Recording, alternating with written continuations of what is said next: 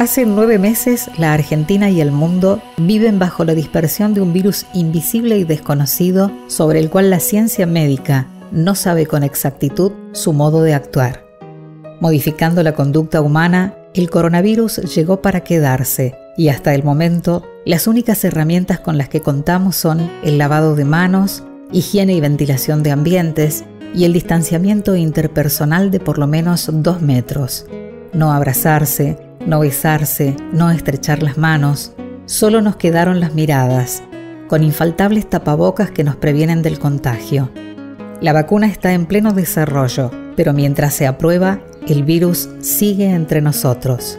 Ante esta situación, el gobierno de General Dehesa ha dispuesto una estrategia sanitaria que va en busca de aquellas personas que desde los distintos barrios no llegaron a testearse aún por diversos motivos.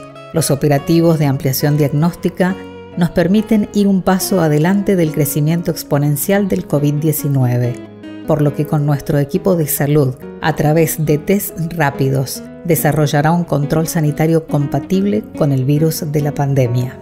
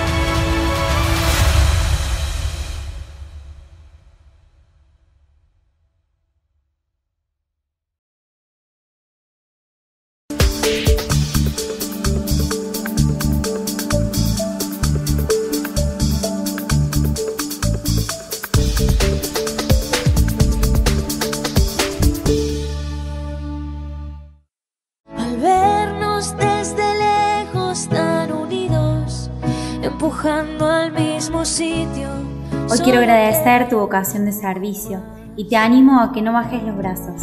Volveremos a juntarnos, volveremos a brindar.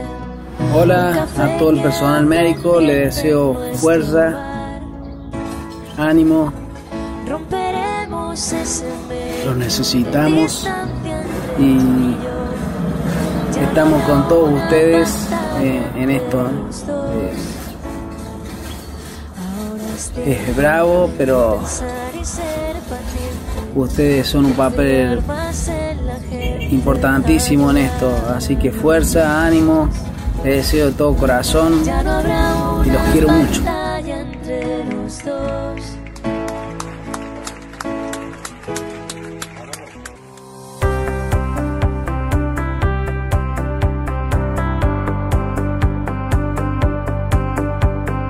Eh, y un tema, Romina, que no es menor y que seguramente mm, lo tuviste en cuenta al momento de aceptar eh, este sillón em, o postularte para este sillón, era la familia, ¿no? Cómo dividirse, porque también eh, como esposa, como mamá, como em, trabajadora en, lo tuyo, habrás pensado eso, ¿o no? Y la verdad que sí, y vos sabes que estábamos con mi marido en la lista Ah, y era, mami, ¿me cuida a los chicos?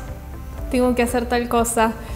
Ma, y bueno, y mi mamá, y, tráemelos, ¿qué, iba a decirme ella? Exacto. y por suerte ella también me apoyó, me los cuidaba, si bien no iba a las reuniones junto con nosotros, ella me apoyaba cuidándome a Francisco y a Valentina. Valentina en su momento tenía dos años, era chica. Eh, bueno, y, eso hace que también, eh, más allá de todo, vayas tomando la experiencia eh, en saber que tenés otras facetas que por ahí no las conocías tal vez. Sí, también. Y, bueno, y tu esposo obviamente te, apoya en esto, ¿no? Sí, en todo momento, desde el principio, me apoyó en estar acá y me apoya también porque él es el que me trae, yo no sé manejar, entonces él me tiene que traer, venirme a buscar, me espera. Bueno, pero eso es tan lindo, Romina, porque es un proyecto de vida que arrancaron juntos y esto forma parte de ese proyecto de vida, es lo que vos querés hacer y está bueno eso. Está bueno. Que, te acompañen, que te apoyen. Sí. Eso es buenísimo. Vos sabés que siempre a, cada mm, concejal entrevistado em, hacemos un poquito los deberes y hacemos eh, cinco preguntitas que es un ping-pong. Muy simple.